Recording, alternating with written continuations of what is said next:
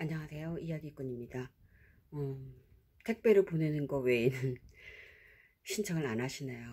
어, 죄송합니다. 제가 바빠서 그리고 택배 실력이 없어서 포장을 잘 못하니까 네, 일단은 직접 만나서 드리려 했으나 잘 가져왔는지 그것도 궁금하네요. 한번 열어보겠습니다.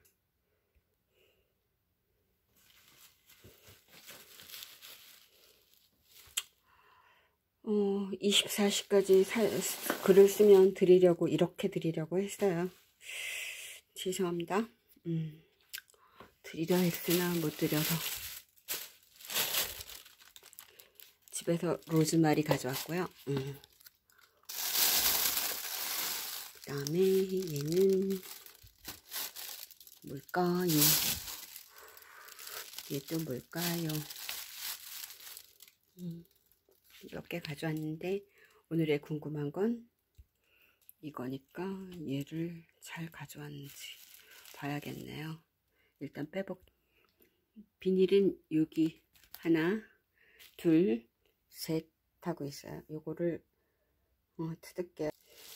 일단 테이프 3개는 뜯었어요. 이제 돌돌돌돌 말았으니까 돌 하나도 안 끊어지고 왔으면 참 좋겠네요. 어, 테이프가 다시 붙어버렸네. 하고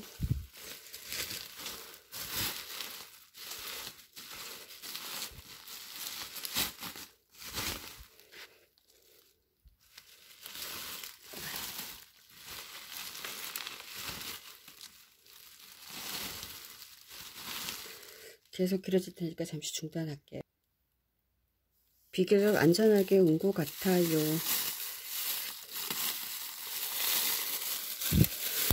이것까지만 빼보면 확실하게 알겠죠?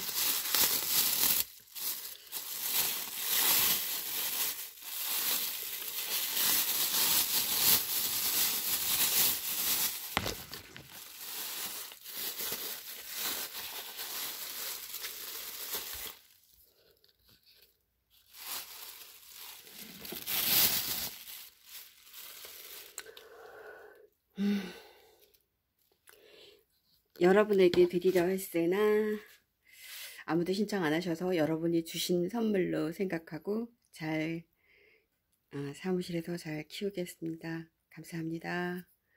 아쉬운 아쉬운 400명 구독자 기념 나눔도 실패입니다. 죄송합니다.